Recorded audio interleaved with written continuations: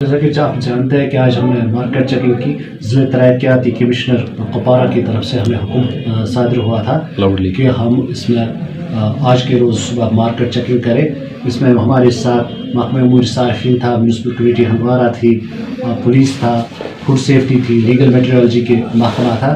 इसके अलावा तहजदार मैं खुद और नायब तहजदार साहब मेरे साथ थे। तो हमारा मकसद सिर्फ़ यही था कि मार्केट में जो ज़रूरी अशाई खुर्दनी है जिसमें गोश्त है, सब्ज़ियाँ है, दूध है, रोटी है, एक तो उनकी हम क्वालिटी को चेक करें, उनकी क्वालिटी क्वालिटी को मेंटेन करें। जो वज़न दुकानदार हजरात हमारे सार्फिन को दे रहे हैं तो हम उसमें वो जो वज़न बराबर दे, रोटी का जो वज़न है, वो भी हमने देख लिया। गोश्त का जो वज़न है, गोश्त के लिए जो सरकार की तरफ़ से रेट तय की गई है।